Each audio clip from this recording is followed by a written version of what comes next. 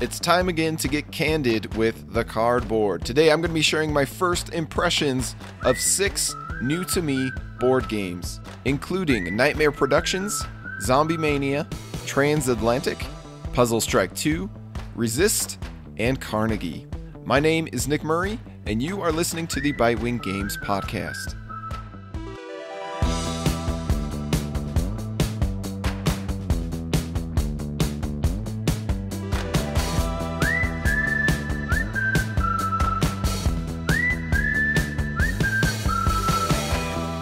So, with Halloween still somewhat fresh on the mind, let's start with Nightmare Productions and then Zombie Mania. I have two plays of Nightmare Productions so far, both at four players, and a review copy of this game was provided to me by the publisher. So, I've got three things for you making movies, auctions, and Reiner Knizia. You really only need a sprinkling of two of those things to have me interested, yet Nightmare Productions possesses all three in spades. That's why this one earned a spot among my most anticipated games of 2022, Part 2. That was an episode we had earlier this year, and that's particularly because I've never played the older editions of Nightmare Productions, including Dream Factory, Hollywood Blockbuster, Hollywood Golden Age, Traumfabrik, and so on. This design has had a lot of names over the years. This one is yet another beloved Knizia classic that has been around for decades and aged quite well.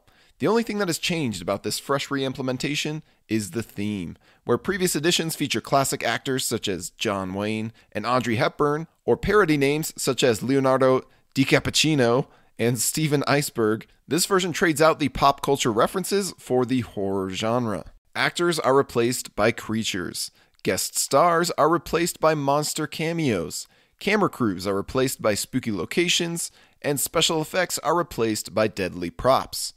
Where pop culture can so quickly be outdated or tiresome, I find that I vastly prefer this new theme and more lively presentation in Nightmare Productions.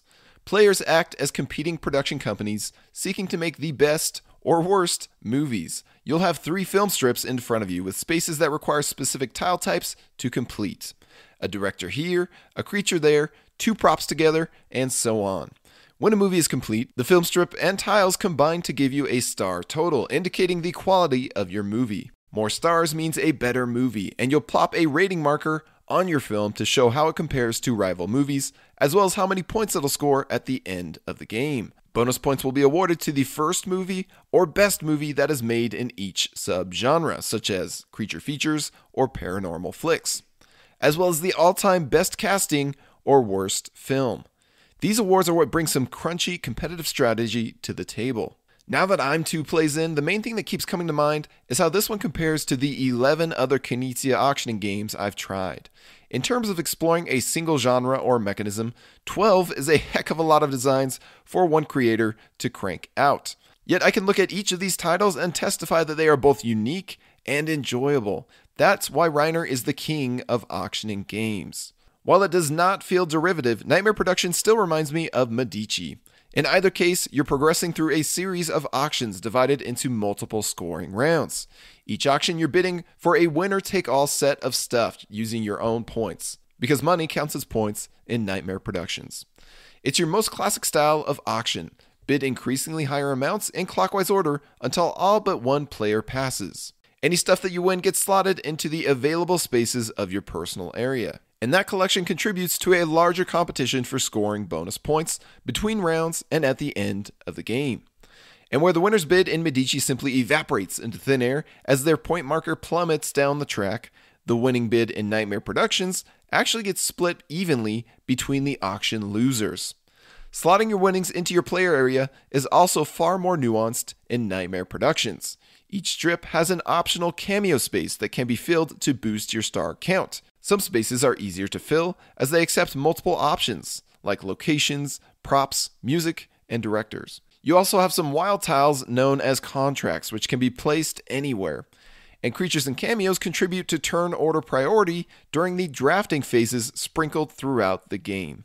All that said, the simpler mechanisms of Medici actually make for a more dramatic game. Nightmare Productions has nearly all of its tiles displayed on the board face up, allowing players to plan their strategy carefully and methodically for an entire round. Meanwhile, Medici is more loose and suspenseful as each player decides when to stop revealing cards to be put up for auction. Cards that can either cause a spike or a plummet in the set's value. The other key difference is that once a player fills a film strip in Nightmare Productions, they simply grab another one and keep going. Meanwhile, in Medici, once you've filled your boat board, you are completely out for the rest of the round and must watch in agony or glee as the remaining cards come out of the deck to be auctioned off without you. Although it's interesting to compare Nightmare Productions and Medici, I would not say that one is objectively better than the other. Those who prefer a more zesty theme with increased considerations will gravitate toward Nightmare Productions. Those who delight in more highs and lows with a constant underlying tension will opt for Medici. I'd say in either case, you can't go wrong. I give a good prognosis to Nightmare Productions. Next, let's talk about Zombie Mania, which I have one play of at four players. This review copy was also provided to me by the publisher. So, Dice and Zombies, the ketchup and fries of board gaming. And who better to trust a set of dice to than the mathematician who has over 130 published dice rolling games under his belt? With Zombie Mania, a 2014 game now back from the dead thanks to publisher Trick or Treat Studios, Reiner Knizia invites us once more to enjoy chucking a fistful of dice. Much like Pickomino, also known as Heckmeck, Players take turns rolling a bunch of dice and setting some aside after each roll until they choose to stop or bust. Also, like Pickomino, you'll need to roll a very important side if you want your results to mean anything. Zombie Mania is all about rolling pairs to get the job done pairs of tombstones, pairs of buildings, pairs of zombies, and so on. Apparently, being undead comes with the side effect of loneliness. Anyway, if you want to be able to do anything on your turn, your 8 dice need to roll at least 2 tombstones. Once you have your pair of tombstones, you're free to start clearing your player board of zombies. Rolling a pair of single green zombies or single blue zombies lets you get rid of one zombie from your board. Rolling a pair of double red zombies allows you to clear two zombies from your board. Normally, these evicted zombies end up in the graveyard, which is basically a discard pile unless you roll a pair of buildings, which allows you to instead pile those zombies onto another player's board. Finally, a pair of times twos will double the amount of zombies you can get rid of. But remember, you can only get rid of zombies if you have a pair of tombstones among your dice results. You're not even limited to a specific number of re rolls. Rather, each time you roll your dice, you must set aside at least one zombie die. The moment you don't roll any zombies is the moment you instantly bust. Your turn is over. But each die has a 50 50 shot of rolling a zombie, so it's possible to push your luck quite far while you aim to assemble the best pairs of dice. Just like all Knizia dice games, the tough decisions are enshrouded within what appears to be a massive luck fest. Which dice do you keep? How many do you re-roll? Do you play it safe or risk it for the biscuit? The way a player travels down these subtle branching paths will determine whether they look like a lucky fool or a fool down on their luck. As always, it's an enjoyable journey to take and watch others take. Yet, with Zombie Mania in particular, it's possible for this traveling group to find themselves stuck in an endless loop, trapped less in a zombie apocalypse and more in the Twilight Zone. You see, the game ends when a player starts their turn with zero zombies on their board. That means that on their previous turn, they kicked out the remaining zombies and then watched with glee as all of their opponents failed to send a zombie back their way. Yet our first play of Zombie Mania proved that nailing the leader with a zombie and thus stopping them from winning is exhaustingly easy to accomplish. Although you need six of your eight dice to turn out a specific combination in order to nail an opponent, a pair of tombstones, a pair of buildings, and a pair of zombies. We managed to do this again and again and again and again and again. I believe I was the first player to clear my board of zombies. It's a little bit fuzzy as all of us cleared our boards multiple times as we played a twisted version of Hot Potato with the few remaining zombies that didn't end up in the graveyard. Collectively, we probably cleared our boards 20 times. At the time players started clearing their boards, we were probably 15 or 20 minutes into the game. From there, it was another agonizingly long 15 or 20 minutes of sending the zombies around and around from one empty board to the next. Although it's unlikely, it's theoretically possible for this game to go two or three or four or who knows how many times longer than it should.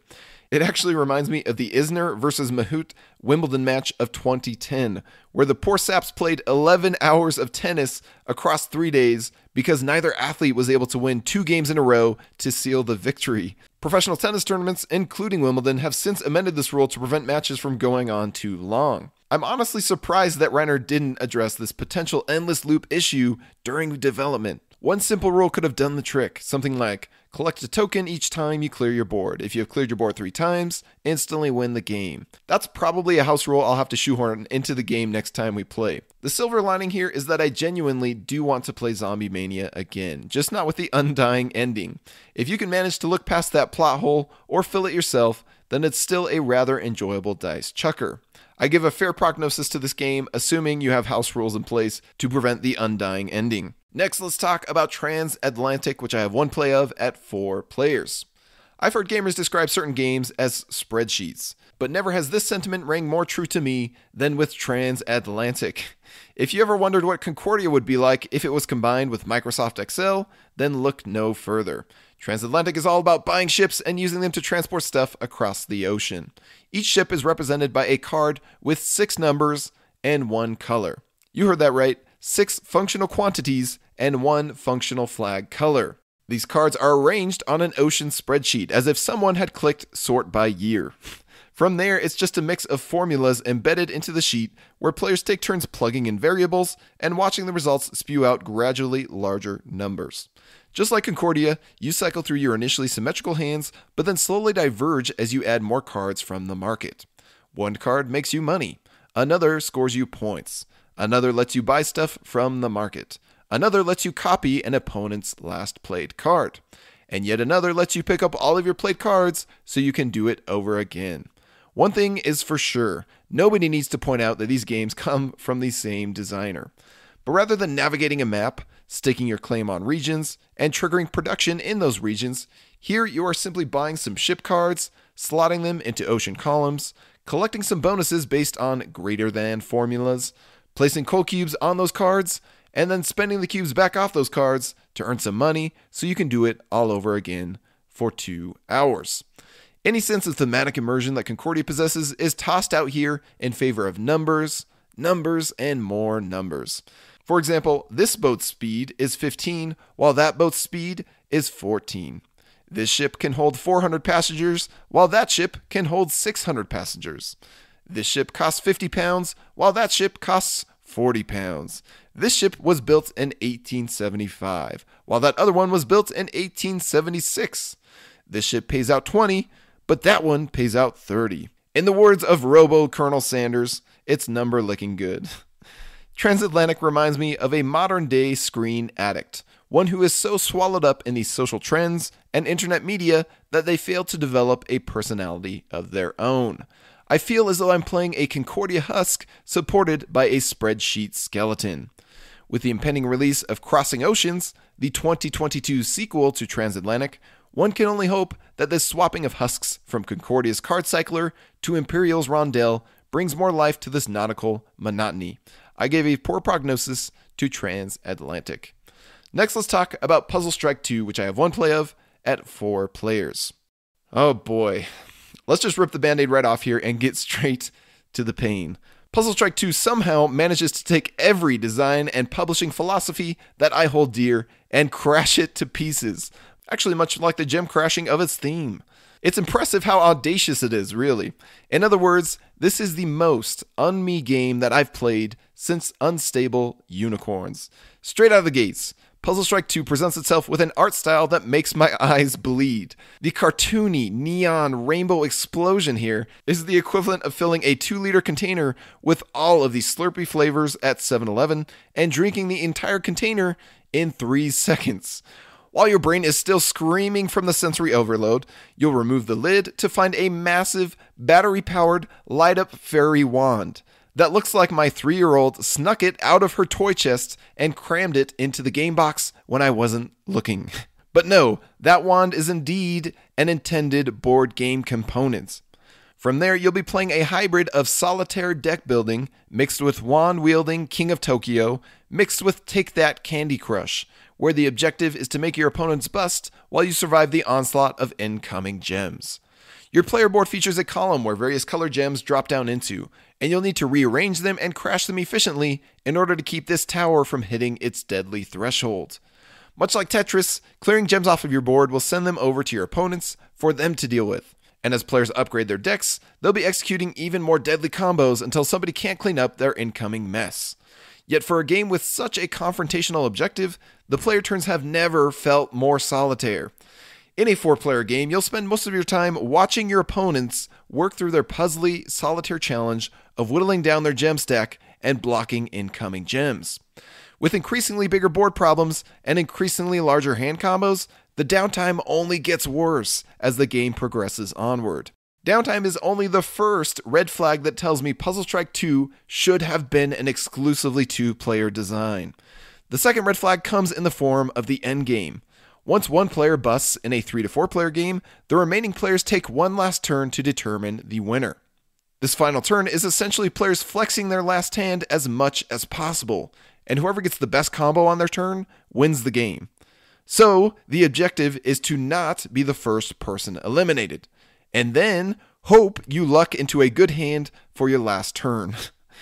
the third red flag comes in the form of the stated playtime of 20 to 30 minutes. That may be true for a two player game, but it's a downright lie in a four player game, which plays closer to an hour or more. Where the game doesn't seem to respect itself in terms of a realistic player count, an honest playtime, reasonable game components, and more, I struggle to respect it as a participant. That's a shame because it seems like a lot of thought and effort went into crafting the many asymmetric starter decks and market cards and I'm sure that some folks will enjoy its zany antics, particularly as a two player dueling game. But even if you cast all of my surface complaints aside, I still prefer dueling games and deck builders where the player interaction is the focal point, rather than a turn by turn solitaire puzzle combo contest, which is why I give a hopeless prognosis to Puzzle Strike 2. Moving on, let's talk about Resist, which I have three plays of. I don't often seek out solo games, but sometimes I stumble across great ones. This is true of Trailblazers, which we took on as a publishing project before I tried and got hooked on the solo modes.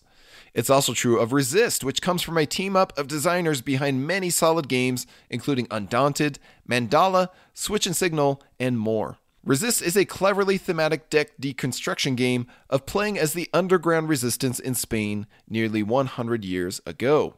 You start with a band of 12 Maquis and 3 Spies, which are junk cards, forming your deck. From there, you'll be drawing 5 cards and selecting a mission to take on with that hand. Your cards are large, they're tarot sized, because each Maquis card features a hidden side and a revealed side with their own unique attack value and action.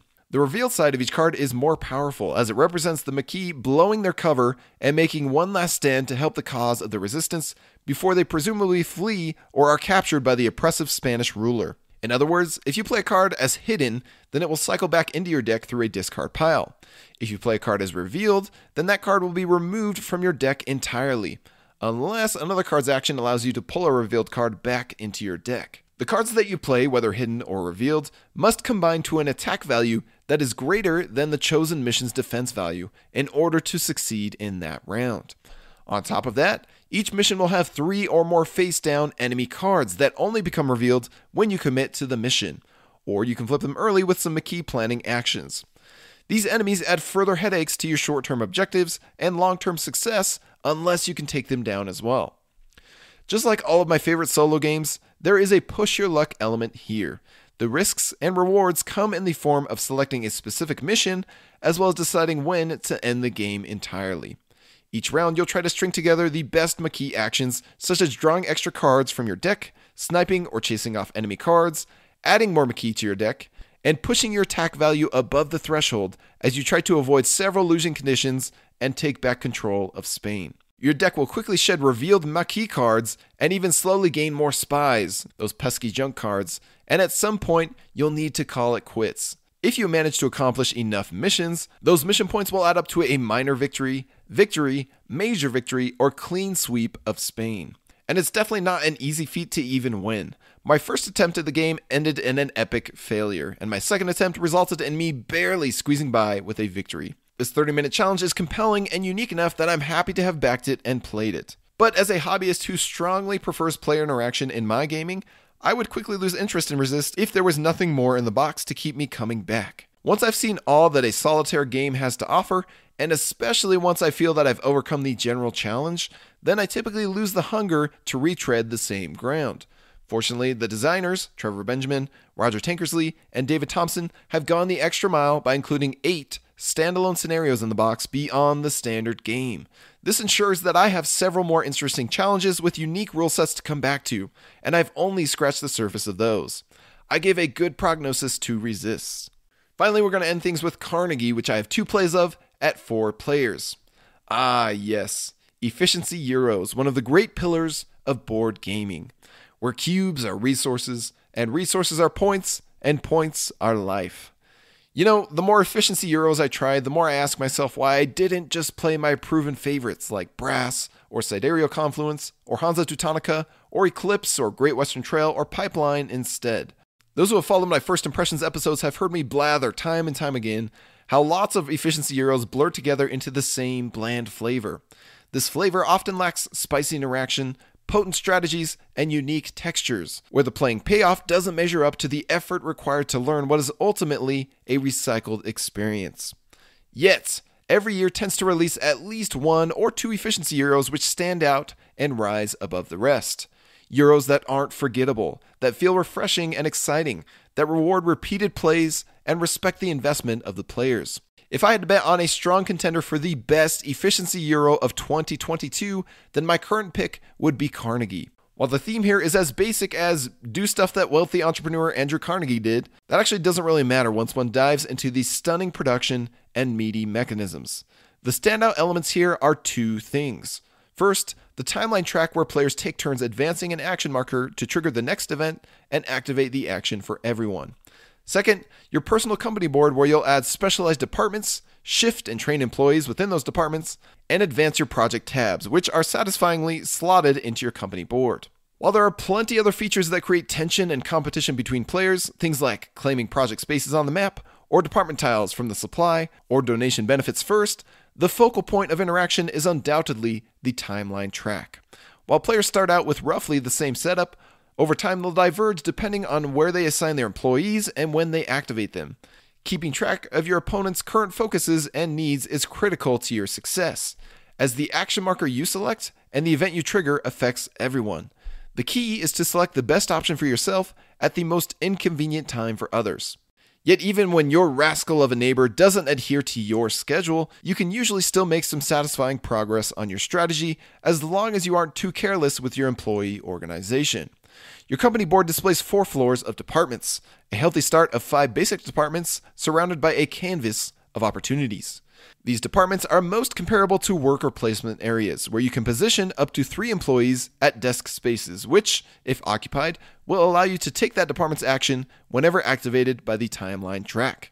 These departments cover things like human resources, which is primarily positioning your employees, management, which is primarily expanding your company board and sending employees on game board missions, construction, which is mainly building a network across the US for points and bonuses, and research and development, which is basically improving your income and infrastructure. The challenge of the game is adapting your strategy to the timeline track while forecasting the order in which your opponents will advance along it. Carnegie demands forward thinking and careful preparations from its players, and then it generously rewards such behavior. You'll be sending out employees on missions, tragically evacuating your precious departments in the process. But if you time it just right, then those relocated employees will act like magic beans that were planted on the game board and instantly grew into a towering income beanstalk overnight. All this because you correctly predicted exactly which event someone would pick next. Jack would be proud. Although the game is long, up to three hours with four players, it fully fills that time with juicy Euro goodness. I've come away from both sessions hungry to explore it further, and that alone elevates Carnegie high above its many competitors. I gave a good prognosis to Carnegie. And there you have it my first impressions of six wildly different games. For those of you who have been wondering, where have we been the last four weeks? It's true, we took a break from the podcast, but we did not take a break from providing you with juicy board game content. Actually, two weeks ago, I released our 2022 Holiday Board Game Gift Guide. This includes gift recommendations for gamers, non gamers, your significant other, stocking stuffers, and games that are perfect for holiday parties. So if you're looking for the perfect board game gift for this holiday season, I recommend you check out the link in the description of this podcast. And don't worry, we'll be back next month with two podcast episodes, one of them being another Candid Cardboard, and the other one being my revisiting of the best games of 2021. But until then, I hope those of you who celebrate Thanksgiving enjoy the holiday. My name is Nick Murray, and you've been listening to the Bitewing Games podcast.